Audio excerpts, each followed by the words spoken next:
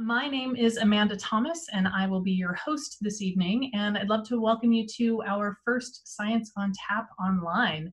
And tonight we're going to be talking about Music and the Anxious Brain, an online presentation and concert with Dr. Larry Sherman, who is a neuroscientist at OHSU.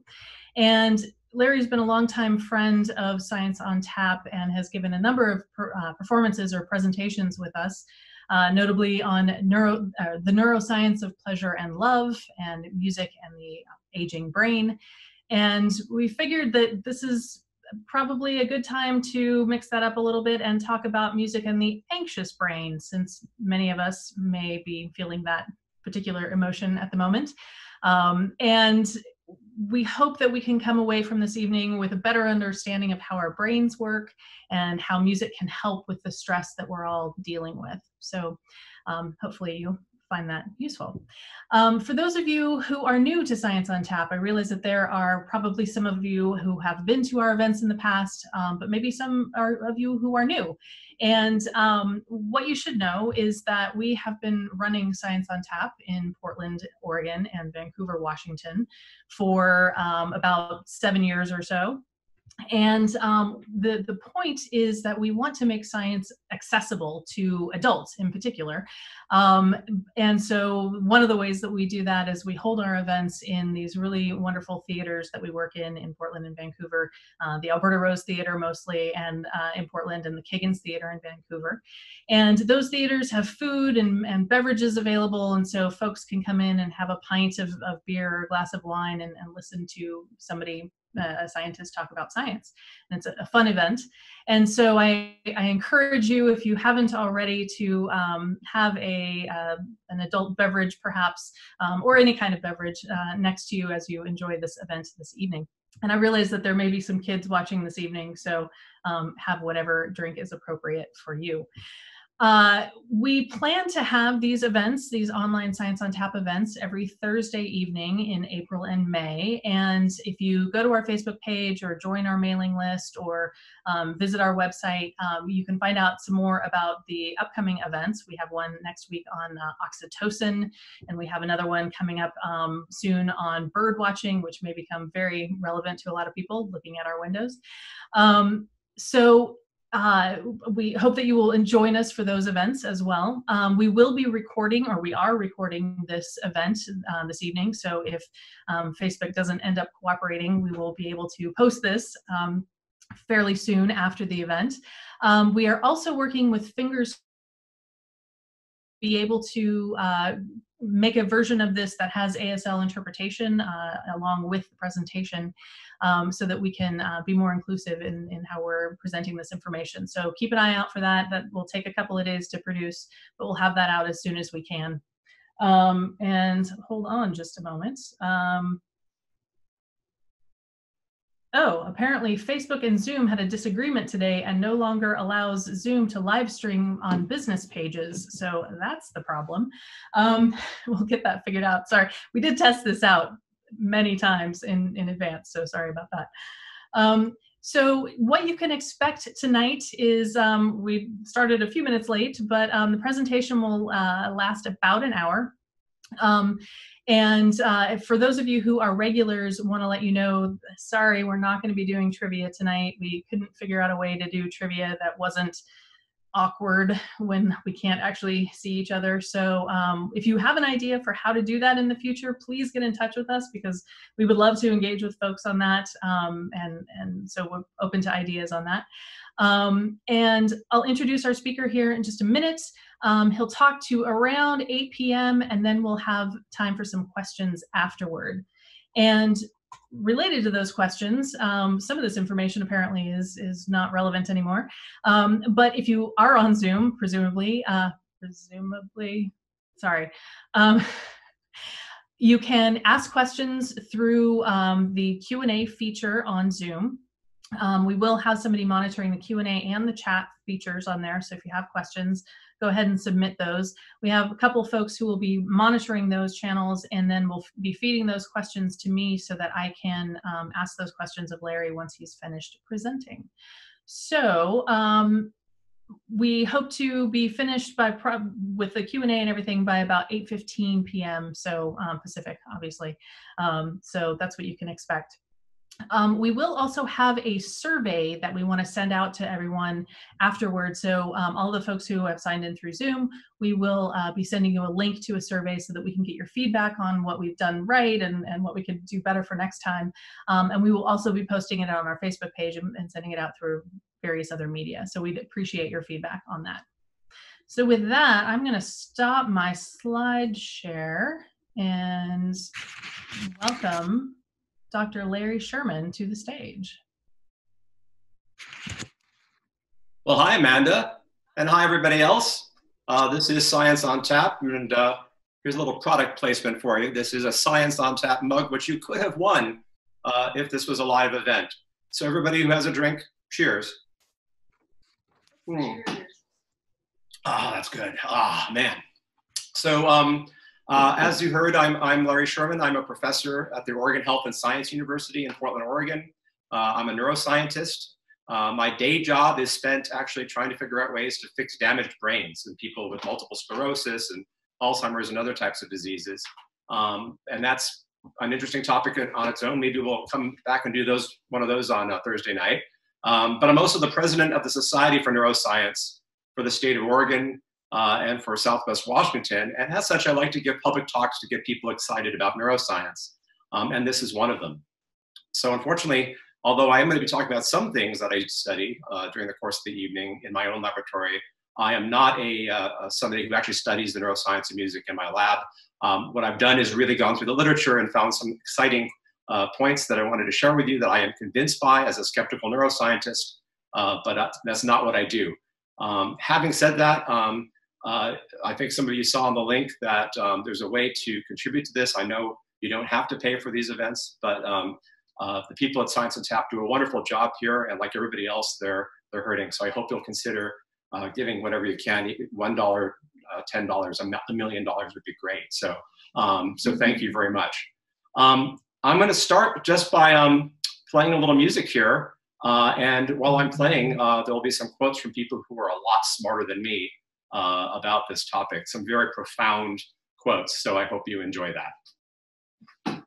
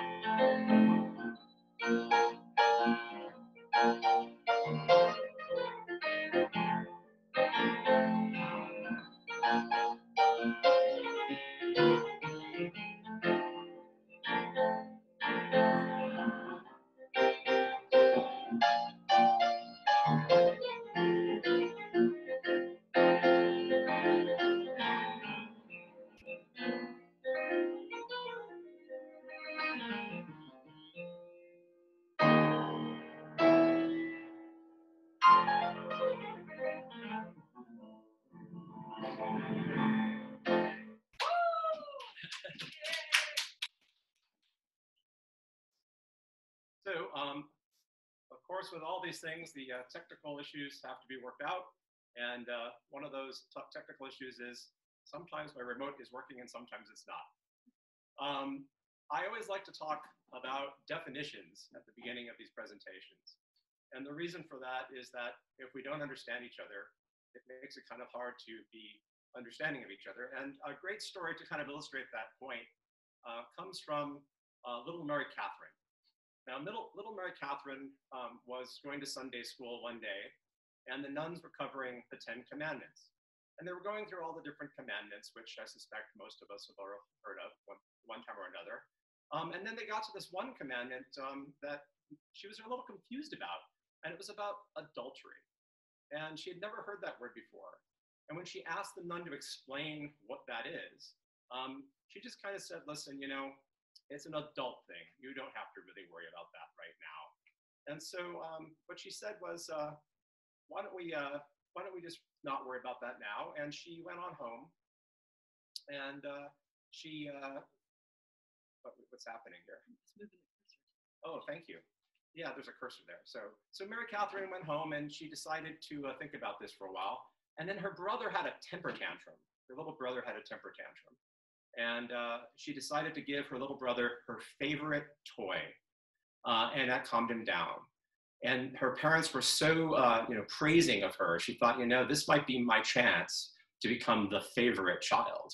She always wanted to be the favorite child. So she decided to keep on doing this over and over again and kept on getting praise. Um, and a few nights went by, and, and, at this dinner table one night, they just said, You know, Mary Catherine, that's very adult of you. And she got a little nervous about that because they thought maybe she, they were onto her, right? They knew that she had this scheme going on. And then she heard the word adult and thought, oh, what the nuns said. Maybe this is what the nuns were talking about. So she went and had her next confession, or one of her first ever confessions, um, and when the priest asked her, So, do you have anything to confess? Um, little Mary Catherine says very loudly so that everybody could hear, I committed adultery seven times. Well, the priest was, of course, a little shocked by this. Um, her friends, however, were thrilled and they thought she was awesome.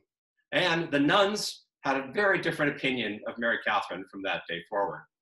This is why we have to have strong definitions for all the things that we talk about. So coming back to neuroscience, uh, what you see in this picture is a slice from a brain, and this was a slice made by Golgi. Golgi um, discovered so many things, but this was actually done before he was famous. Um, and he, when he really was getting started, he just had this little space. He didn't really have a laboratory at all. And apparently the story goes that he would come home from all of his duties at the university in Padua um, and he would uh, make these slices of brains um, that he kept next to the pasta and all the stuff for the sauces. And on the other side was a, a bunch, big collection of chemicals that were very toxic. So he'd make himself some dinner, he'd lay down a slice of brain, and he'd start adding these toxic chemicals. And one day he found one that labeled the entirety of a nerve cell, a neuron. And that's what you see here. Um, neurons are really amazing cells they have this unique structure that's really different from other types of cells. So what you see in this picture, this diagram, um, the thing in the middle there with that big uh, black dot, that's the cell nucleus, which all cells have, uh, except for cells that don't have nuclei. Um, but coming off of it are these branches, and those are called dendrites. And those branches can be very simple, they can be very uh, long, they can be very short, or very heavily branched and very complicated. Um, and that's where electrical signals enter the cell. And then going down the cell, you can see the little long string called the axon. Um, that's where the signal continues uh, onto other places where it branches off. And axons can also be very short or very, very long. In fact, some of them can go almost the length of your spinal cord, which is one single cell. It's a very long distance for it to travel. And then surrounding some of those axons is a yellowish substance called myelin. Now, myelin, um, this is an actual electron micrograph. So this is uh, magnified like 40,000 times, I think. And what you're looking at is in the middle of that picture, that is a circle with tiny little circles in the middle. That's actually the axon. You're looking down the barrel of the axon. And then that beautiful material going around and around that axon, that's the myelin. And the myelin isn't made by the axon, it's actually made by another cell. And the arrow there in that picture is pointing to a little tiny piece of that cell. And these are cells that we actually study in my laboratory. And this is actually a picture from my laboratory. That is an oligodendrocyte. Don't worry, there won't be a test later. But this particular uh, picture shows in the middle the cell body, that's where the cell nucleus is, but it also has these incredible, beautiful branches. And what's amazing is each one of those branches can wrap around a segment of an axon and form myelin. So one oligodendrocyte can make myelin for many different axons. Now, what is myelin good for? Well, as you probably all know, most things in science are named after something in Greek, something in Latin, or they're named after some dead guy. Well, this is an example of something named after a dead guy. Um, this is the node of Ranvier. And what Ranvier discovered was there were these interruptions, those little yellow blips there um, in myelin along axons. And those interruptions allow for something called saltatory conduction. So basically, if you have myelin, um, it's like driving on the Autobahn at, at midnight where there's no speed limit. You can be going 200 miles an hour and no one's going to stop you. But if you lose that myelin and lose that saltatory conduction, it's like driving on Highway 5 here in Portland at rush hour by the 84 interchange. You'll be lucky to be going two miles an hour.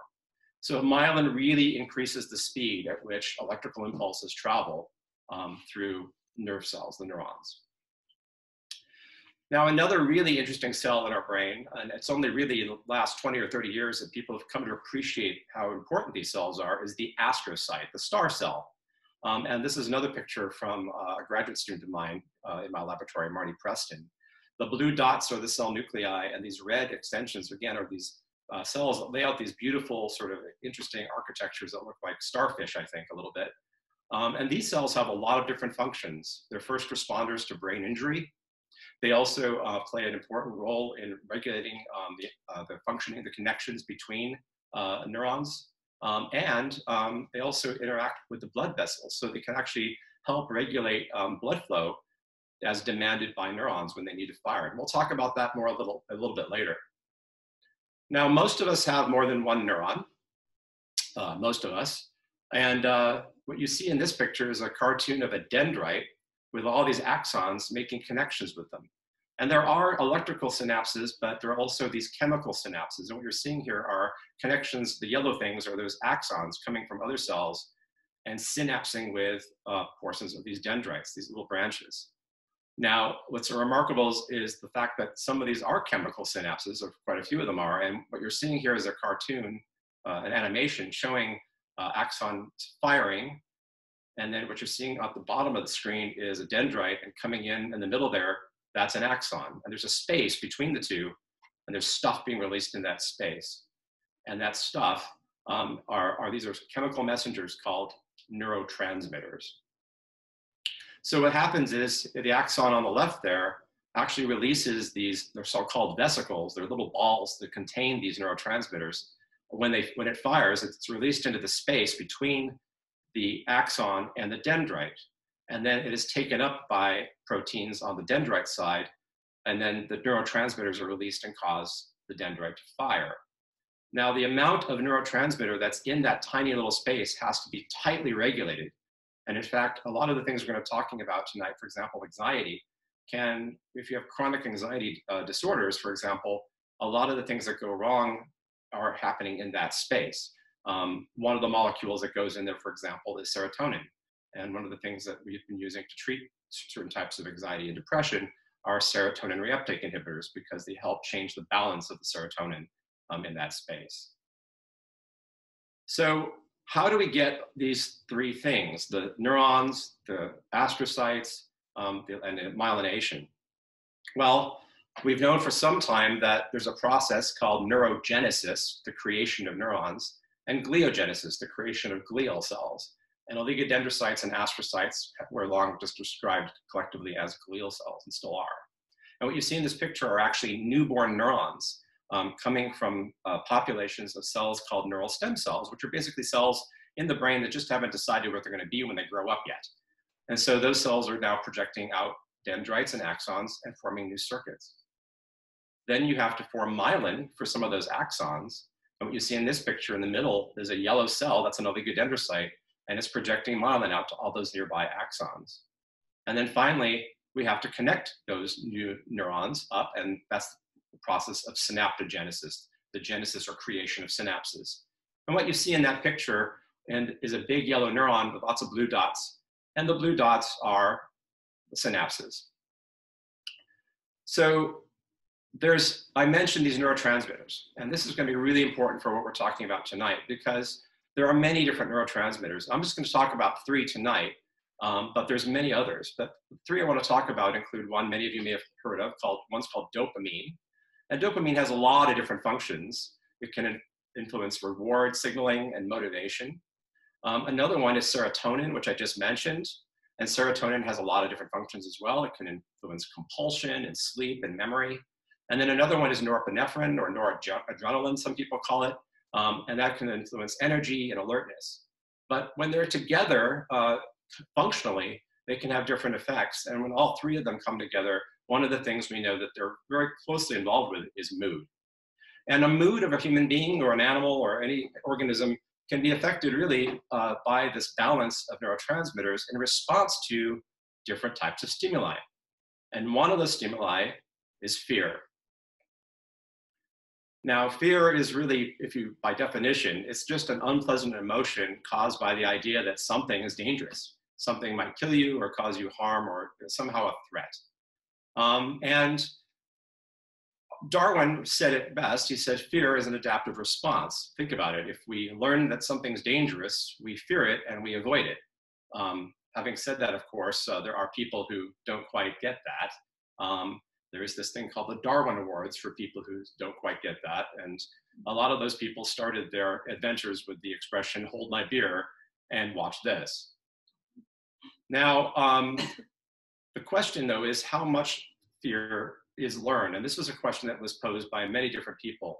And we have to kind of go back to questions about something called classical conditioning to understand that. So this was Pavlov, and you may have heard of Pavlov and his dogs who drooled a lot. Um, so Pavlov, as it turns out, um, he noticed one day that um, he had these dogs that were living in kennels.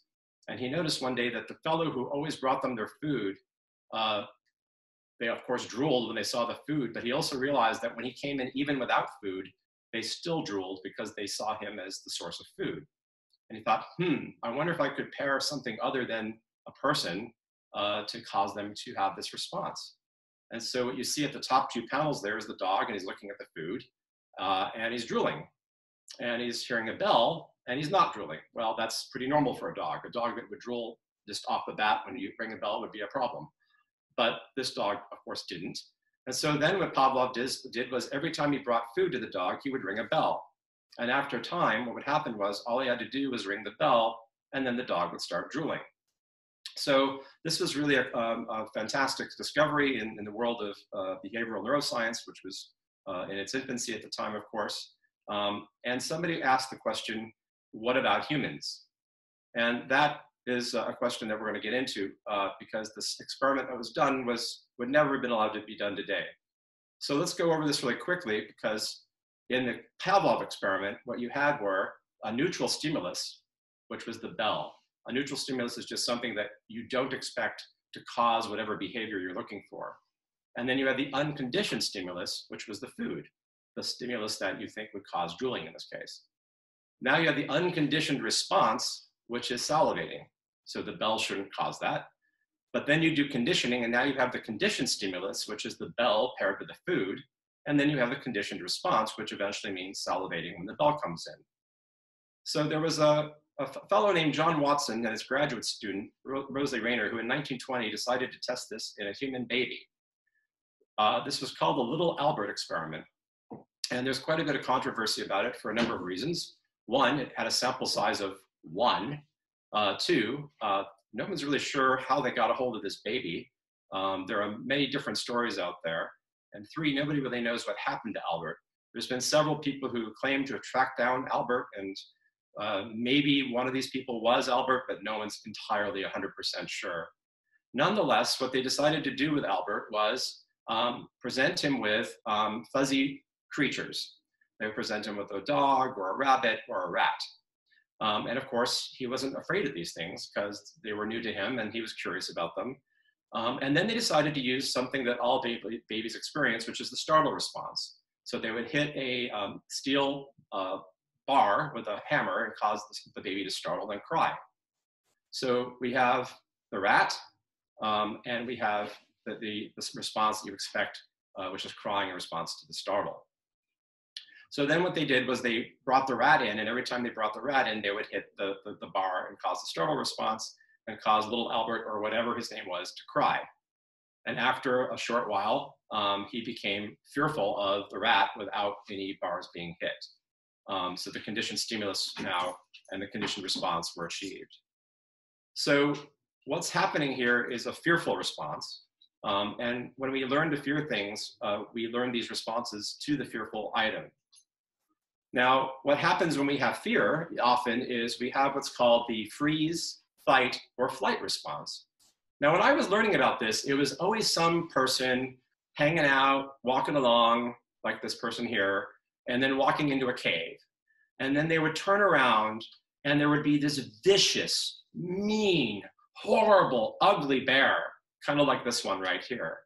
Um, and the, the, bear, of course, uh, gave you this choice. I'm either going to freeze, which is a, a, natural response to fear. I'm going to fight this bear, which is a really bad idea, by the way. Or I'm going to run as fast as I can away from this bear. So what's happening in the brain under those conditions?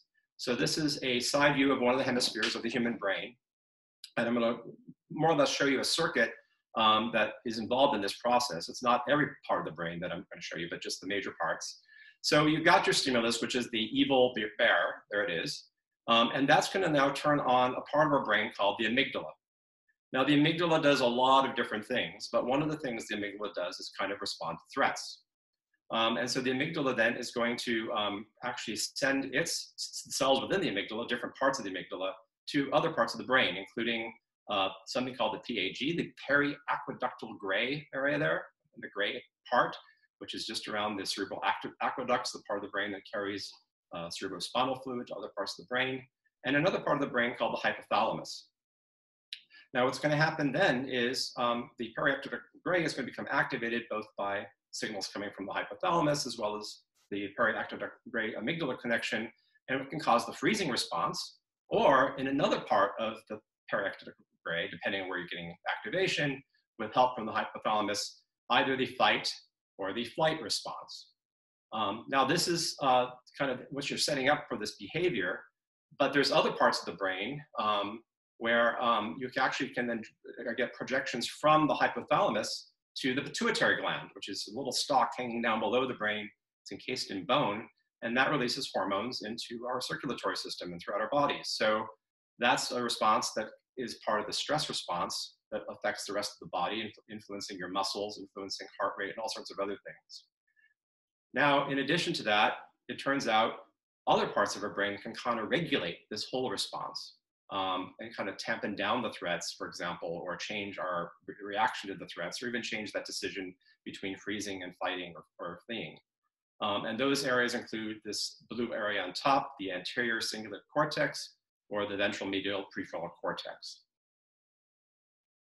Now, the hypothalamus, when it activates the pituitary, one of the things it does is it releases something called corticotropin releasing hormone, which then activates the pituitary to release another hormone, adrenocorticotropic hormone or ACTH. And that actually signals down to your adrenal glands, which are the little glands on top of your kidneys. And they release a stress hormone called cortisol. Now, the whole idea here is that cortisol is supposed to be released.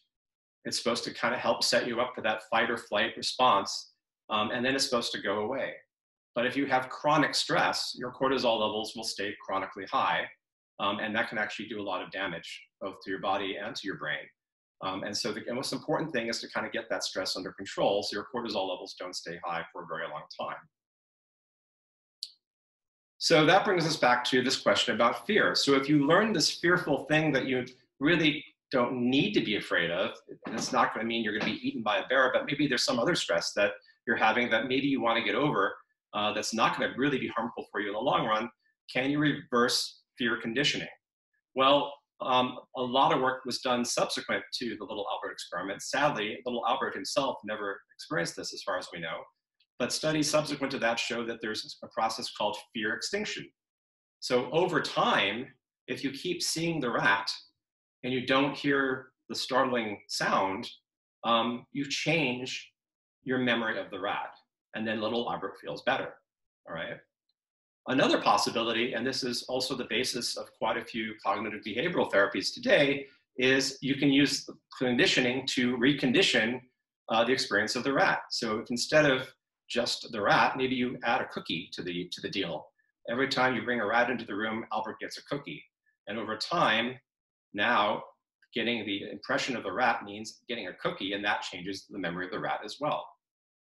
So one of the things we want to ask tonight is, um, say little Albert was uh, living at a time when there was a pandemic that was scaring the, the Jesus out of everybody, um, could something like music help overcome the stress and fear that's generated from that experience? So coming back to definitions, the question is, what is music?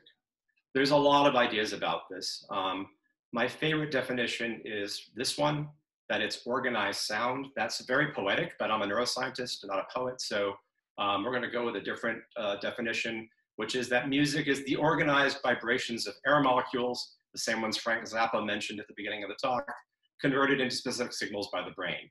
And that's really what all sound is. It's air molecules changing the way they vibrate in space, moving through the air and entering your, your, your ear and your auditory cortex and stimulating your memory for those sounds. Where did music come from? Well, there's a lot of theories about that, of course. One is that it was a uh, early form of communication.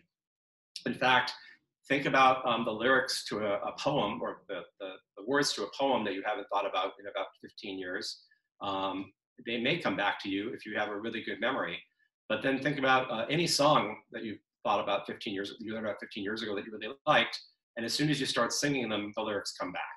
And there's a lot of examples of, of this in our culture, and that's a really powerful way. It's an information-rich system, and so people, of course, use music to transfer information. Um, it certainly has evolved music through uh, religious practice throughout the world. Um, religions everywhere use music to spread the messages of the religion, um, and that's an important social aspect of how music changed over time and evolved uh, to what it is today. And then there's this idea um, and the idea was, of course, that um, you know back when we were starting to come out of caves and become more specialized, uh, we had people who were you know leaders and hunters that uh, were coming, becoming sort of professional hunters within the group. Um, and you had this other group of people who were sitting around making music all day. And somehow they had clothing and food covered, and that made them really attractive. Um, and that may explain certainly why some musicians are considered sex symbols. That worked for Elvis, but you know, it might have worked for Beethoven too. Now, I have my own favorite uh, theory, uh, and this is actually based on a comedy routine from Mel Brooks and Carl Reiner called The 2,000 Year Old Man. And in this uh, comedy routine, Carl Reiner was the interviewer, and Mel Brooks was the 2,000 year old man. And he would ask questions like, Where did music come from? And the 2,000 year old man said, Well, music came out of fear. And he says, Fear? Yes. He says, One day I was out walking, and a lion started eating my foot off. And so he called out, A lion is eating my foot off.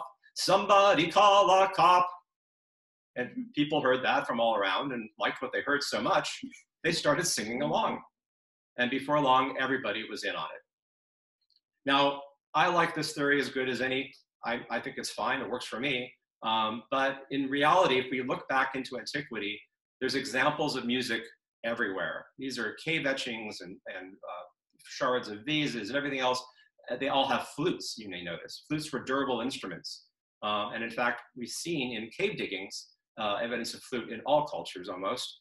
Uh, and what's remarkable is some of them date back pretty far, like this one here. Um, this was um, in the Aachen Valley in Ulm, Germany. Uh, and these are uh, the wing bones of an extinct species of vulture, and they've been dated at 35,000 years ago. So this is really quite early in human history. These are Homo sapien caves. That's us. We are Homo sapiens. Um, and that was really remarkable. Now, something else that was remarkable was this finding. So this is um, was actually back in 1996 in a, a cave in Slovenia.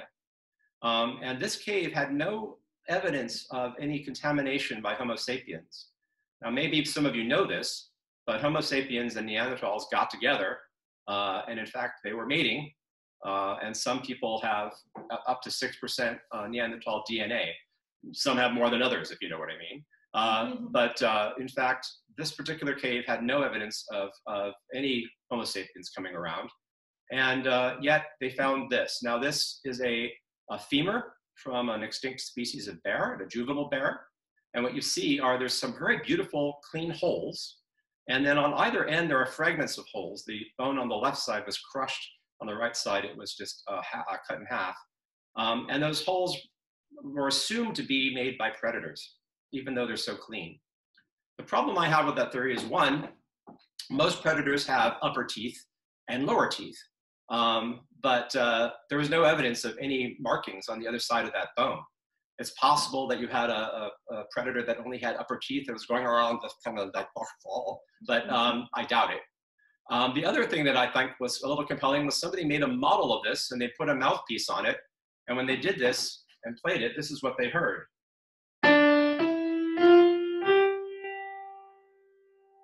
So that is a diatonic scale. So either that was one very talented saber-toothed tiger, or the Neanderthals beat us to the diatonic scale, which I think is an, a, remarkable idea. So this really raises the question, is music a universal human experience? Well, all cultures have it, that's one thing. It's usually the first thing you get to hear if you're an infant. Uh, mothers instinctively sing to their children when they're crying out, um, or even when they're not. Some mothers sing better than others, if you know what I mean, but, uh, but nonetheless, they all do it. It's also um, part of our language, and not just in the Western cultures or, or, or Asian cultures. Every culture does cer certain things vocally that are quite musical. One of them is when you call a name out across a distance. Doris, Freddie, or children on the playground. Yeah, yeah, yeah, yeah. We hear that everywhere on the planet, uh, no matter what culture you're from. Now, something that I've always found remarkable is that very simple patterns of music can be converted to signals with emotional content in them. In other words, uh, you hear just a, like a simple chord, not even a whole song, just a single chord, and you feel an emotional uh, reaction to it. Now, here in the West, um, if I play that C chord on the left, most people think of that as sort of an upbeat, happy little sound. But if I change that E to an E flat, well, now it's something more serious. So composers, of course, have taken advantage of this and tried to manipulate our, manipul our uh, emotions with that all, all through time. I'm going to give you an example of this. I'm going to play a little fragment of the second movement of Beethoven's Seventh, and I'm going to oh, use the opening chords more or less the same way. It's, it's going to be minor, but then I'm going to play it again with the major. And I'm just going to change the opening chord and leave the rest of it the same and see how, how it affects the meaning, the emotional meaning of the rest of the music.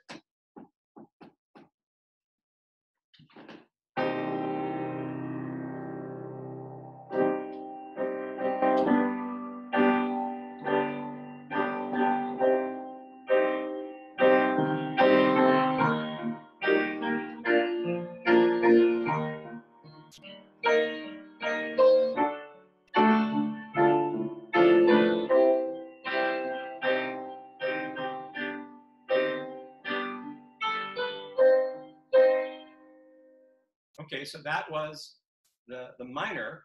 Now I'm just going to change that opening chord to the major, and again, leave everything else the same, and see what happens.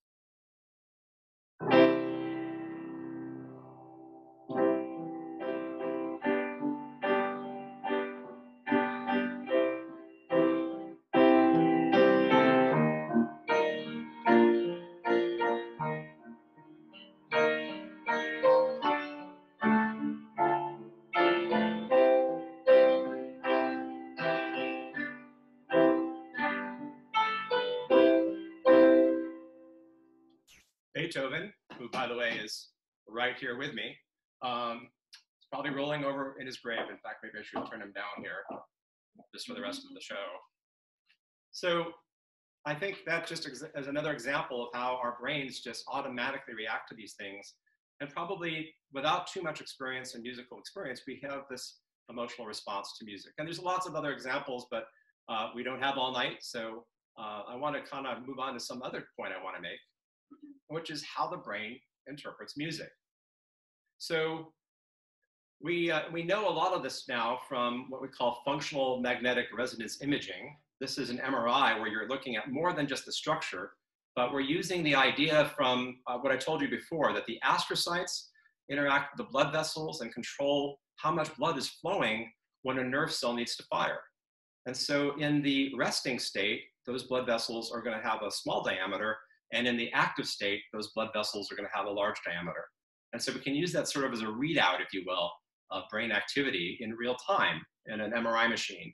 And what you see in this picture on the lower left there is a 3D reconstruction of a brain with areas mapped that light up when we just listen to music in an MRI machine. Now you're thinking to yourself, I know some of you probably had an MRI and you're thinking, how do you do that? Well, you can actually get people to stay very still um, with their heads there and put noise canceling headphones and type music in um, and have people respond to it and then measure what happens.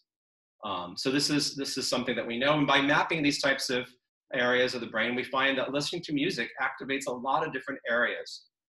Areas involved in attention, in memory, in expectations and rules, and emotion. Now, some of you think, okay, well, attention, that makes sense. When we hear music, we always pipe up, right? Memory, well, we always have memories of things that we think about when we hear a song. And of course, emotion, we just talked about that. We can have our emotions really change when we hear uh, any kind of music. But what about this expectation and rules business? Well, if I were to play a, a scale for you, like this one, you would all know that the next note is this G. But what if I play this? Well, now your brain's going, no, no, no, no, no, don't do that. Mm-hmm. So, so this is something that our brains are wired. We have, we have these expectations for how things should be happening.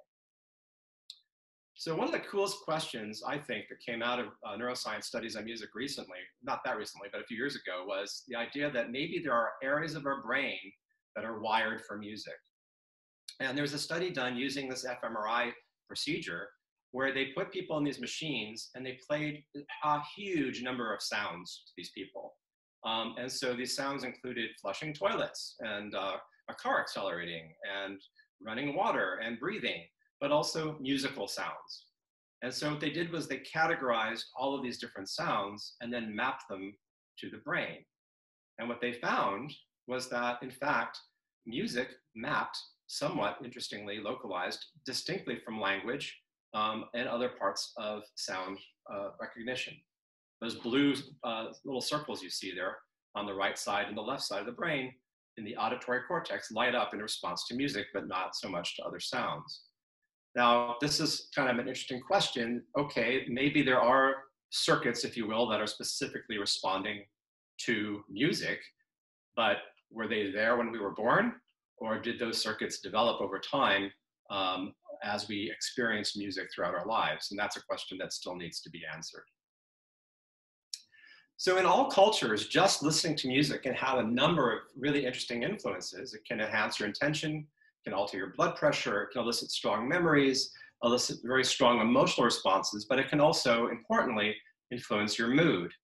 And coming back to those questions about anxiety, uh, there's been many studies that have looked at this question. I'm only going to show you, uh, just kind of cite two of them here.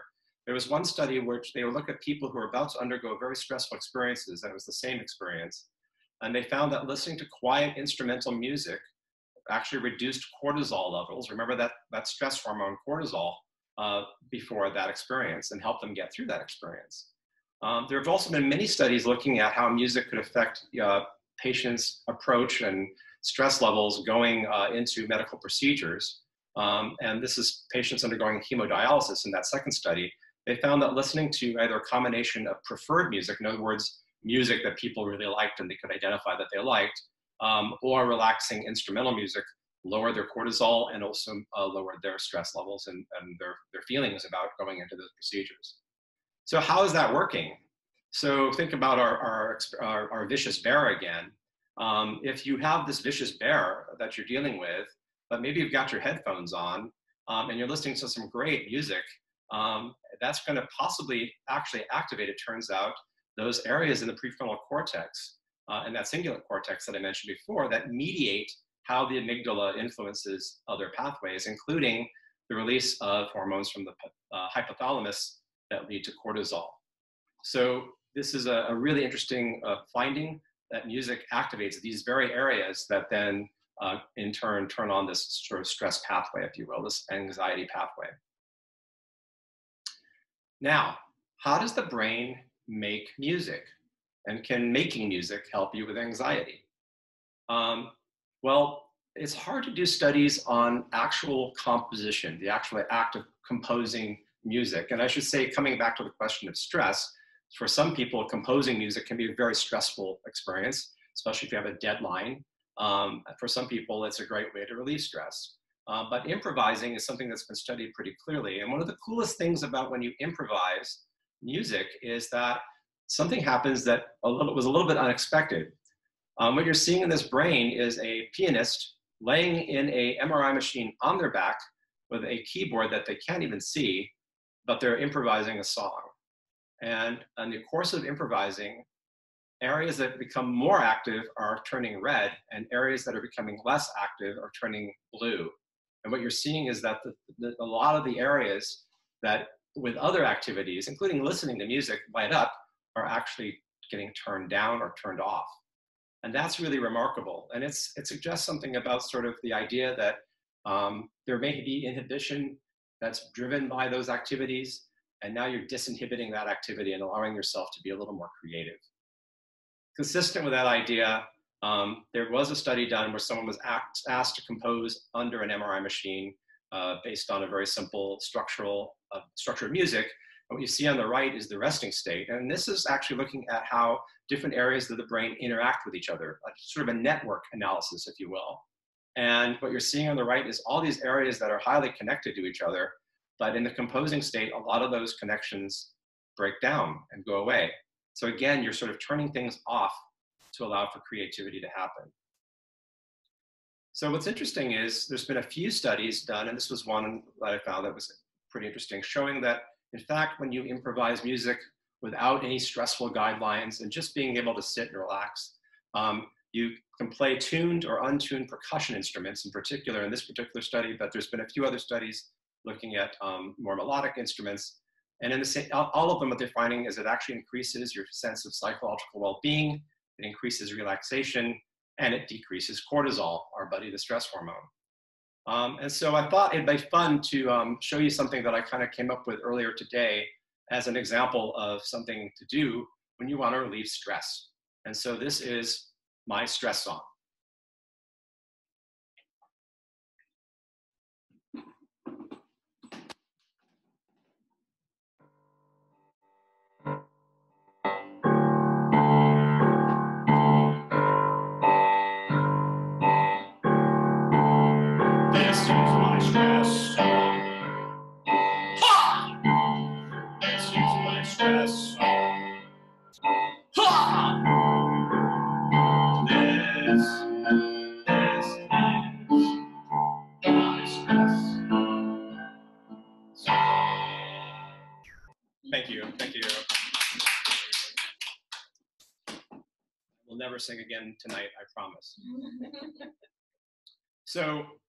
I think any stress song that you would like, you don't have to sing that one, obviously.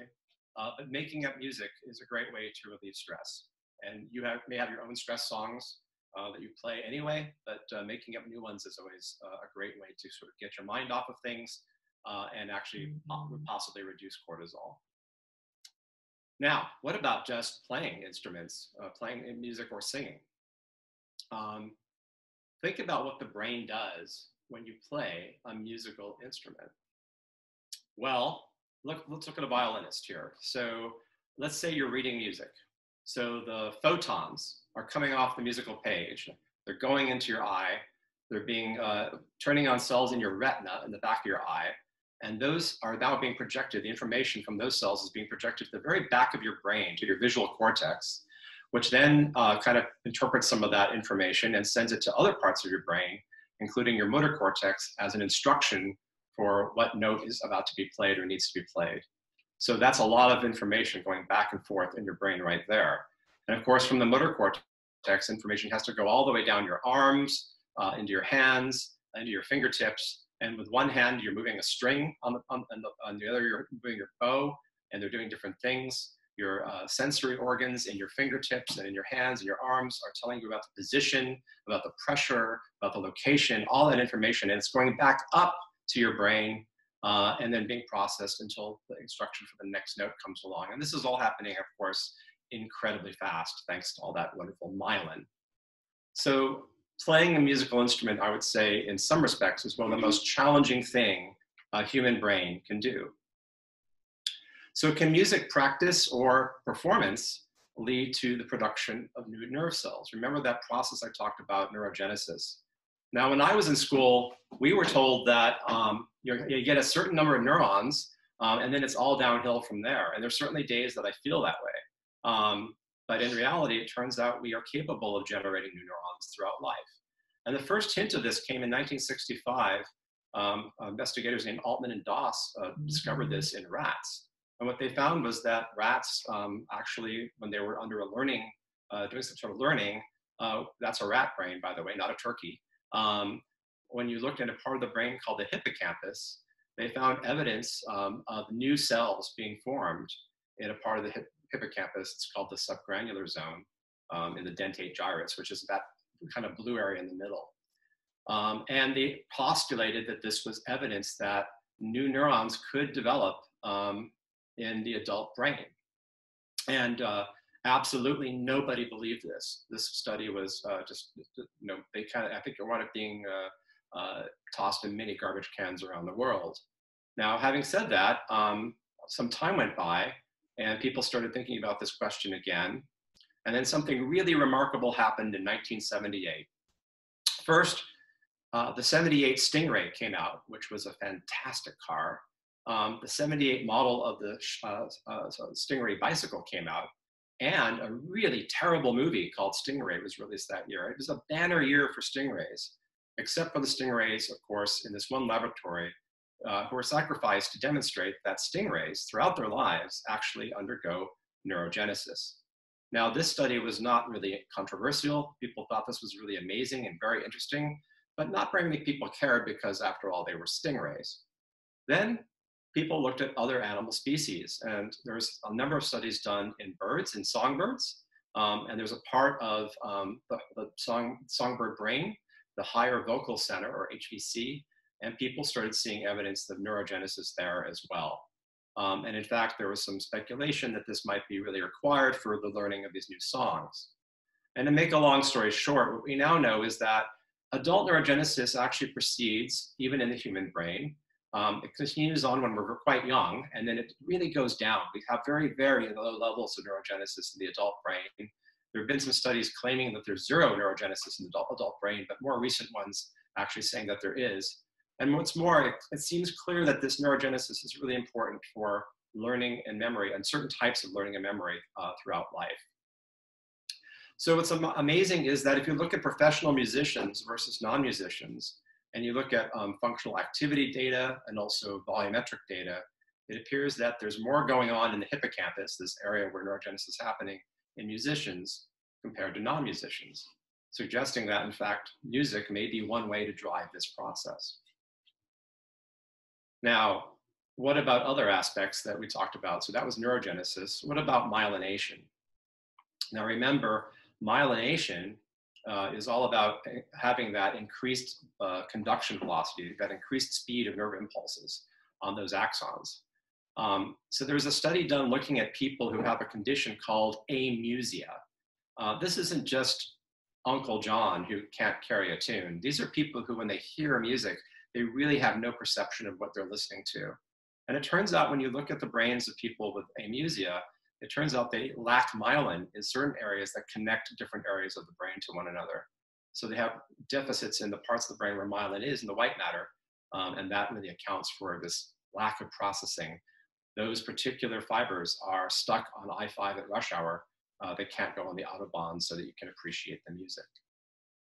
Now that's cool, but there was another study done looking at children who were taking musical lessons, and this has been done now in adults as well, and it's pretty clear that um, practicing music actually increases the amount of myelination in various different parts of the brain. Um, and this was a study done in children taking piano lessons compared to over time and uh, compared to children who were not taking similar lessons. Um, and it was a pretty remarkable finding, suggesting that myelin is a plastic thing, that it really, we can make more of it in the act of playing music. And what about my last thing, synaptic connectivity? Well, synapses, those connections that we make, we make them when we learn new things. Um, and we strengthen those synapses when we rehearse things. But over time, if we don't rehearse those things, some of those synapses do uh, break down. Also, they break down with aging. Um, and so what's interesting is people have shown using um, uh, uh, motor evoked potentials, which is sort of a way to look at activity uh, that's driven by synapses, that musicians actually have much more of this activity uh, than non-musicians. And again, we're talking about professional musicians, so people who are doing it all the time. So that's pretty remarkable. So I would like to um, get everybody to do a little music right now. Um, and uh, my, my daughter Claire is gonna sing with me. Uh, actually, I promised I won't sing, so I'll let her sing. Um, and we'd like to start everybody off by uh, beating a drum. And I think we have a few drummers in the room here. Um, if everybody has a drum handy, uh, grab it right now.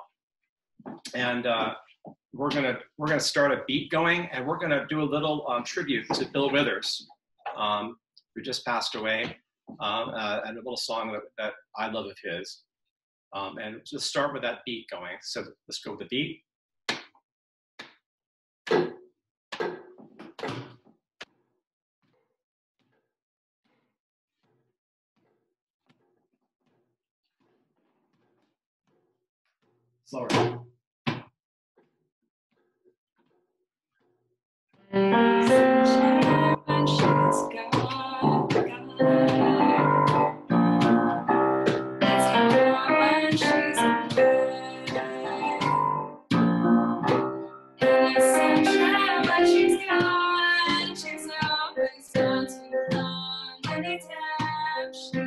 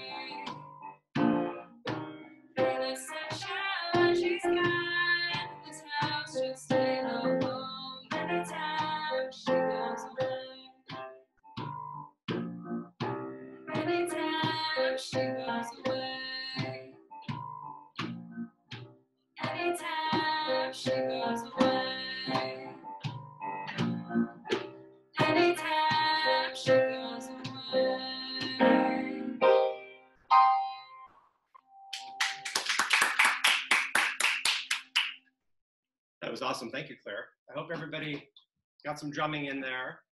Drumming is very therapeutic, um, and uh, anytime you can participate and play an instrument, uh, we know that it can reduce stress, um, and can lower anxiety and lower that cortisone. Of course, it's depending on if you're in a stressful situation. So if you're actually nervous about playing, uh, those effects might go away.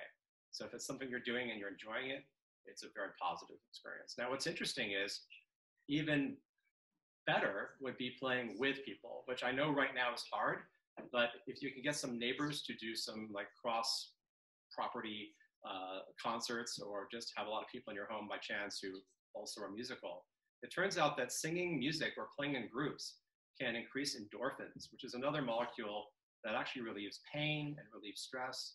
Uh, it increases dopamine, which I mentioned before, which has been part of that reward signaling. And the combination of these effects does two things. It actually increases your sense of belonging to a group, and it increases your acceptance of members in a group. So I hope that that was an interesting uh, talk, an interesting uh, performance. Uh, we did the best we could. I hope I hope it wasn't too awful.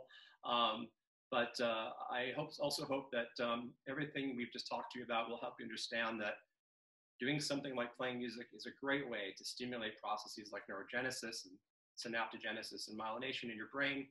And it also can help you relieve some of that anxiety you might be feeling right now. So thanks again.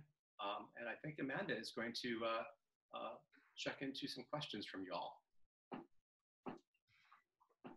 Yeah, I'm I'm online. Um, Scott, are we? Ah, there we are. Okay, can you see me? Can see you. Okay, fantastic. Um, so thank you. And uh, well, there was a comment on there to say thank you to Claire. It was lovely. So just thought I would pass that along. Um, so we have several questions. Um, want to start with one you mentioned um, about uh, playing together and, and drum circles.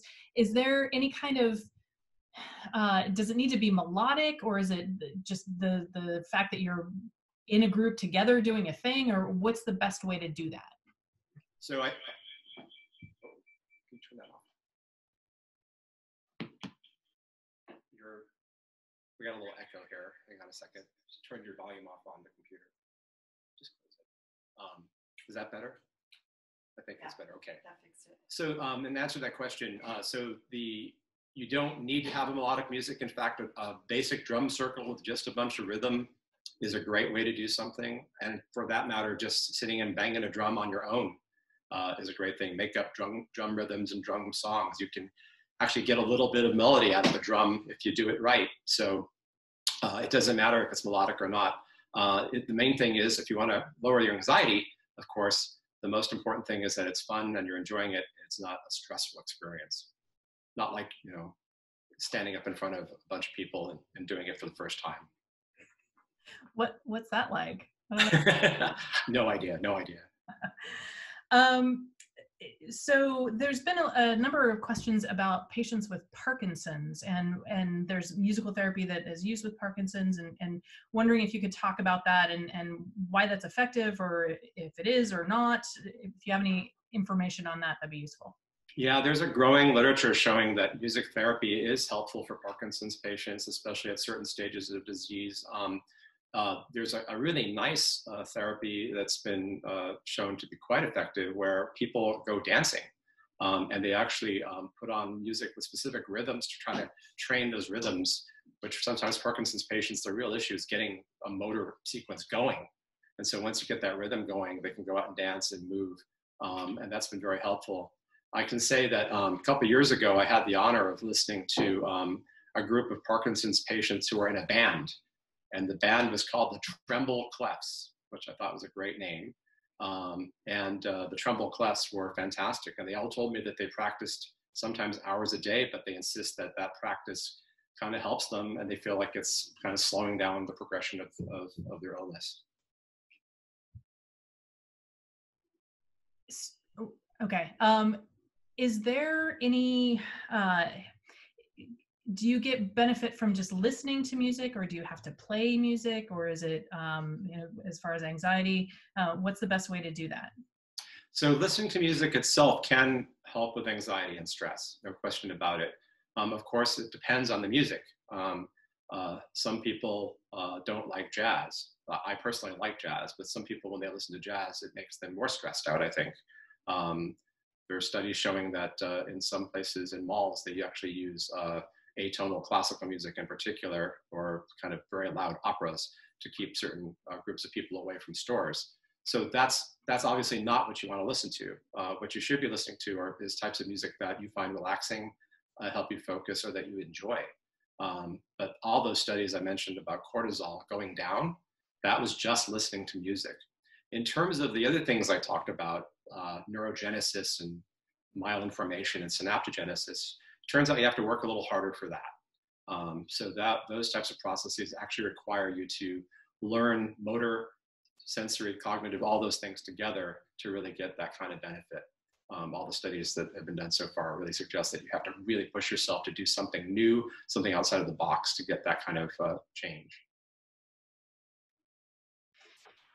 I'm looking down here, reading the questions that are, are being fed to me. Um, have some questions about uh, music in tonal languages, and the the example was given was Welsh, but I know Chinese also um, has uh, tonal qualities to it. Is there any information about how language and music work together in that way? Well, so that's uh, kind of what I was talking about a little bit earlier. Um, I mean, the fact that we combine lyrics often with these tonal patterns and it helps us with memory, that's for sure uh, well demonstrated. Um, but uh, interestingly, yeah, certain languages are more um, melodic, if you will. Uh, they use a much broader tonal range than our language, which probably sounds pretty boring to them. Um, and interestingly, people who have uh, early life experiences with those languages and even later um, are more likely to have things like perfect pitch. Um, and I think it's because they need to be able to hear subtle differences in meaning that are, are affiliated with those, those very subtle changes in tone. Do you have any information or perhaps opinions on how uh, this eh, taking music out of K-12 you know programs that sort of thing might affect people and, and students and their anxiety?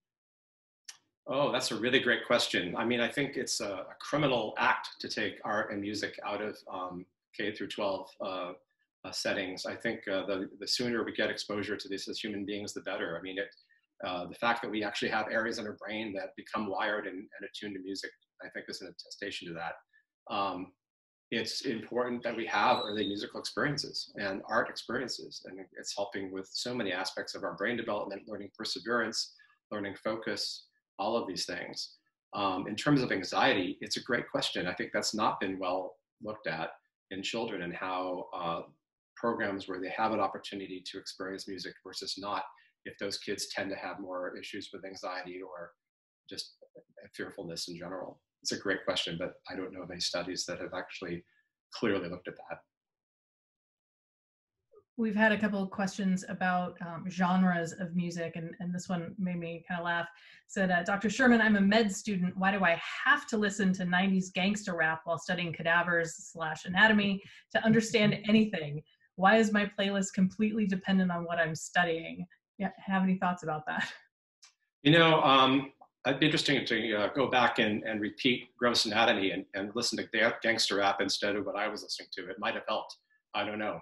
I think it's, it's really what puts your, your mind in the state that works for you. Um, and again, that may be very different for different people.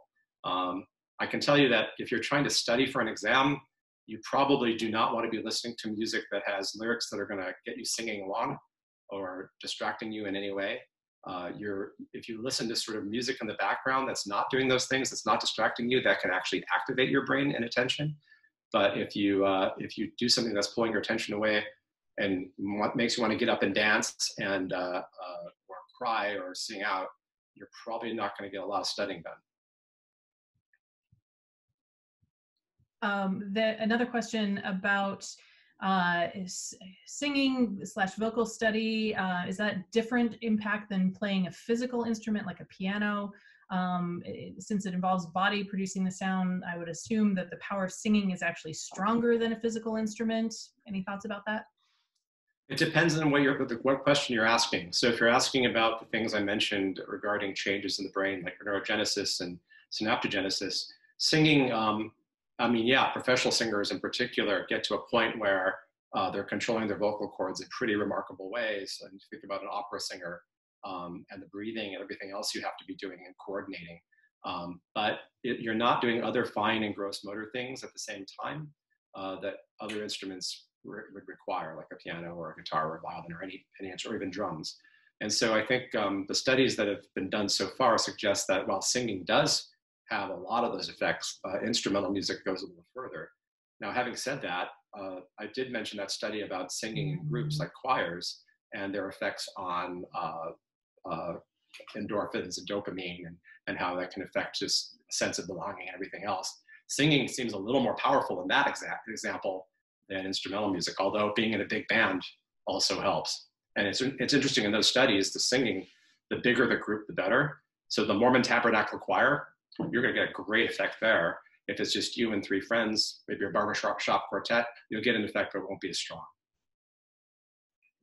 Yeah, I know when we have done a related event, Music and the Aging Brain in, in, theaters, when we could all be around each other, when we've done a sing along, that's been a really powerful experience to get, you know, 600 people singing in a room together. So it's yeah, so if none of you have ever done that, um, I'm hoping we'll be able to do that again live. Please come and we'll have a great sing along and talk more about that. Yeah, we'll, uh, we'll try and do that as soon as we can. Um, so related to that, there's a, a, question about does singing affect anxiety by teaching self-regulation of breath? Can you run that by me again? Sure. Um, singing uh, as a as a way to learn how to control your breathing and regulate anxiety related to that. Do you have any information on that? I mean, I think there are techniques that people use in music therapy where that's exactly um, what people are doing. They're trying to help you control things like breathing and, and everything else. And, and, that's actually, when you learn to sing, part of what you're doing is learning to control your breath, uh, learning control how you exhale, and all these other things that are really important for becoming a good, powerful singer. So yes, I think music therapy definitely involves that, depending on what you're aiming for in therapy. Um, and I have a number of uh, great uh, colleagues who are musical therapists who um, I'm sure would be happy to talk about that. Maybe we can get another science on tap on that question.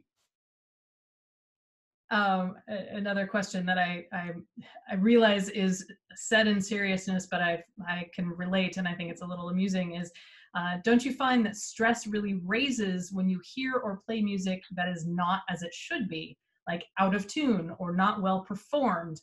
Uh, I have a hard time when I hear something that I have that I have heard done well and then done poorly. Uh, have a hard time at, with that not affecting me negatively. Is that part of the uh, the expectation thing you were talking about? Yeah, and I, I hope um, my playing on Ain't No Sunshine didn't uh, cause that stressful response for you. Um, I feel the same way. If I hear um, music that I really love and it's played, even if it's not played uh, badly, but played in a way that I just feel the style is wrong. People, you know, they, they have their own ways of doing things. I'll hear something and it's it's kind of a negative reaction, right? And so I think we all have that to a degree. We want to hear things, we have, and that is part of the expectation in reward center. We have an expectation for what the next note is and how it's going to be played, how it's going to be sustained, all those other aspects of, of the musical sound. Okay, so um, with that, any last things you want to add about uh, music and anxiety and how to to uh, help mitigate anxiety feelings these days? Well, I, I would suggest everybody do what works for them. Um, if you can get out and sing a little bit or just listen to some of your favorite music and enjoy the sunshine, um, please do it because it does help. Um, if you've never played an instrument and you might have a little bit of fun doing it, pick something up and try it. Uh, if you have people you're stuck in the house with who might drive crazy, maybe find an instrument with headphones. But uh, you know, overall, I think uh, anything you can do uh, is, as I mentioned, all these studies suggest that any aspect of music you engage in has a chance to help you, so long as you uh, find it enjoyable. So. Well, fantastic. And uh, I think with that, we will say thank you to Dr. Larry Sherman for joining us this evening. I appreciate your your time and your expertise and your piano playing. And thank you as well, Claire, for, for joining us. And thank you, everybody. For those of you who actually gave up your Seder tonight to listen to this, happy Passover. Um, my love to everybody, and please stay safe. Thanks. And I'm going to share my screen again, hopefully. And, um,